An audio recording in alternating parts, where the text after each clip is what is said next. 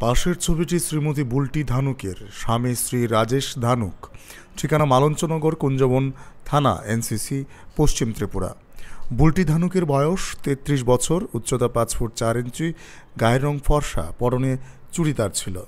গত আঠাশ দুই দু ইংরেজি তারিখ।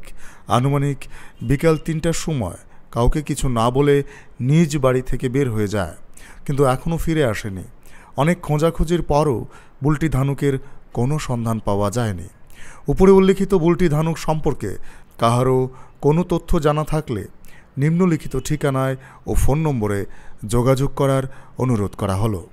যোগাযোগের ঠিকানা পুলিশ সুপার পশ্চিম Tripura, phone number zero three eight one two three two three five eight six, city control, phone number zero three eight one two three two five seven eight four.